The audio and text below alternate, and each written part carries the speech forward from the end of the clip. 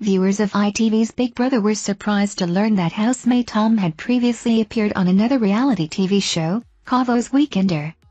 Tom, a 21-year-old butcher from Somerset, described himself as loud and chatty and joined Big Brother for fun, though some viewers found him dull. This revelation disappointed fans who thought this year's series would feature normal people. Another housemate, Farida, had also been on Channel 4's Come Dine With Me. Some viewers expressed frustration at casting choices, wishing for more everyday applicants. Kavos Weekender, part of the Ibiza and Magaluf Weekender series, aired on ITV in 2023. In a surprise eviction, Carrie became the fourth housemate to lead the 2023 series of Big Brother after being nominated by two fellow housemates in a Halloween twist.